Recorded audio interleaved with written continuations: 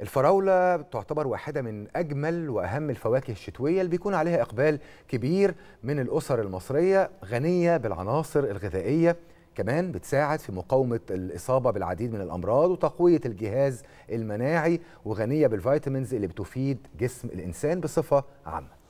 خلينا نعرف تفاصيل أكتر عن أهمية الفراولة الغذائية وتأثيرها الإيجابي على صحة الإنسان. من ناحية الفيتامينز اللي موجودة في الفراولة وإيه كمان تأثيرها على الإنسان خاصة في فصل الشتاء. معنا عبر تطبيق زوم دكتورة منال عز الدين أخصائية التغذية وعضو الجمعية المصرية الطبية لدراسة السمنة. صباح الخير على حضرتك يا دكتور. ويعني في البداية حابين نعرف من حضرتك أهمية تناول الفراولة على صحة الإنسان في مختلف بقى أشكالها إن كان عصير إن كانت مربى إن كان حتى تناولها كده حد ياكلها كده قولي لي إيه فوائد الفراولة الغذائية؟ صباح الخير على حضراتكم. صباح الفراولة. الفراولة من الفواكه الصحية واللذيذة واللي بتتميز بقيمتها الغذائية المرتفعة. هي مفيدة طبعا لجميع الفئات العمرية وعاوزة أقول لحضراتكم إن في دراسات تم إجراءها وجدت إن حوالي 53% من الأطفال من سن 7 سنين ل 9 سنين هي الفاكهة المفضلة لديهم.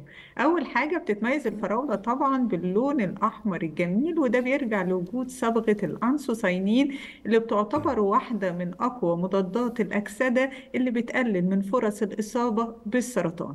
كمان بتحتوي على الفلافينويد اللي بيعتبر من مضادات الالتهاب.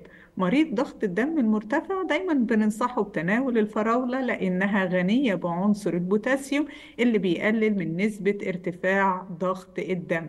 لعشاق الرشاقة والرجيم الفراولة من أفضل أنواع الفواكه اللي نقدر نضمها لنظامنا الغذائي لأن ال 100 جرام فراولة بيدينا حوالي 32 سعر حراري فسعراتها الحرارية قليلة جدا كمان غنية بالألياف فبتدينا شعور بالشبع لفترات طويلة وبتحفز إنتاج هرمون اللابتين اللي بيقلل من شعورنا بالحاجة للطعام بيدينا شعور بالشبع كمان بيساعد على رفع كفاءة الحرق. قلت لحضراتكم إن هي غنية بالألياف. طالما غنية بالألياف يعني هتنظم مستوى السكر في الدم. هتقلل من نسبة الكوليسترول الضار هتقي من الإصابة بالإمساك. الفراوله. من الحاجات الجميلة اللي بتساعد على التحصيل الدراسي لأن فيها نسبة من اليود. الح... السيدة الحامل بننصحها بتناول الفراولة لأنها بتحتوي على حامض الفوليك الهام لصحتها ولصحة الجنين. طبعا الفراولة غنية بفيتامين سي ال جميل. 100 ال 100 جرام فراولة فيهم حوالي 58 مللي جرام من فيتامين سي.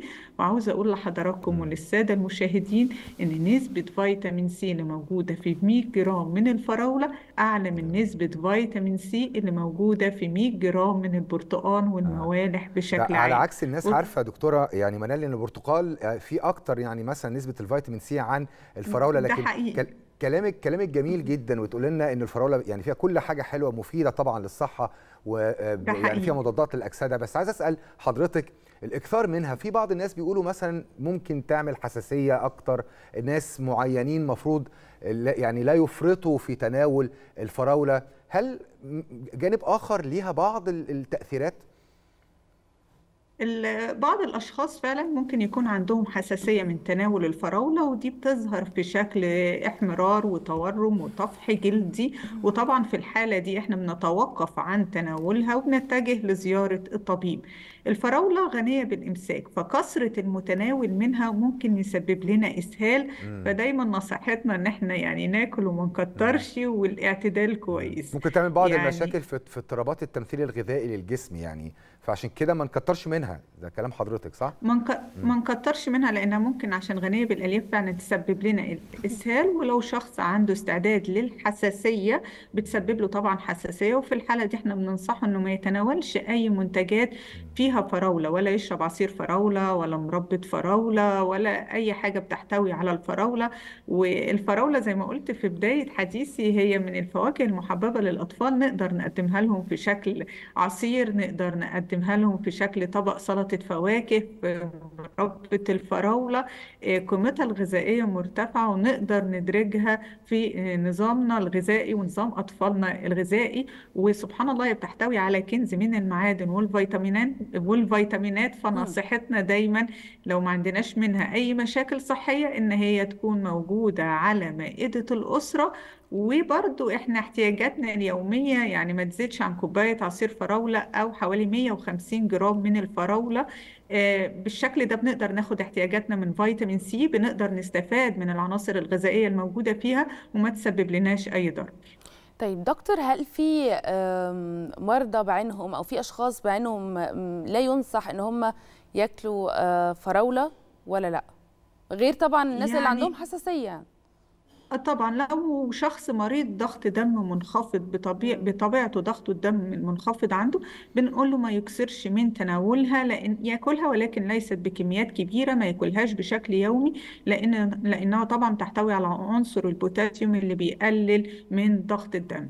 فنصيحتنا برضو لمريض ضغط الدم المرتفع المنخفض إنه ما يتناولهاش بكثرة مريض ضغط الدم المنخفض. طيب آه، دكتور منال هل في فرق ما بين الفراولة المجمدة وال- والفريش يعني في القيمة الغذائية هل لما تبقى مجمدة القيمة الغذائية بتقل شوية؟ آه، طبعا الخضار كل أو الفاكهة بشكل عام كل ما كانت طازة وكل ما كانت فريش كانت قيمتها الغذائية أكبر. زي ما قلت لحضراتكم في بداية حوارنا إنها بتتميز بتوفر فيتامين سي فيها بكميات كبيرة. للأسف التجميد بيقضي على فيتامين سي أو بيقلل نسبته بدرجة كبيرة. فأنا لو باخد الفراولة عشان أقدر أستفيد من فيتامين سي فيفضل طبعا إن أنا أخدها بالصورة ال fresh fresh. بصورة الثمرة الكاملة لأن ده بيحقق لي الاستفادة القصوى من فيتامين سي. وأهمية فيتامين سي طبعا إنه بيدعم جه- الجهاز المناعي طبعا. كمان فيتامين سي بيحمينا من الإصابة بالأنيميا لإنه بيرفع من كفاءة امتصاص الحديد. فأنا لو عندي شخص مصاب بالأنيميا ونظامه الغذائي مدرك فيه إنه يتناول فيه الفراولة فلازم أقدم له الفراولة بالشكل الفريش. الشكل. المجمد هي بتحتفظ تقريبا بمعظم عناصرها الغذائية ولكن فيتامين سي ما بيكونش متوفر فيها بالشكل المتوفر في الثمرة. الطبيعية. نشكر بشكرك شكرا جزيلا دكتورة منال عز الدين الباحثة بمعهد تكنولوجيا الأغذية على كل المعلومات العلمية والصحية عن فوائد الفراولة. صباح الخير على حضرتك.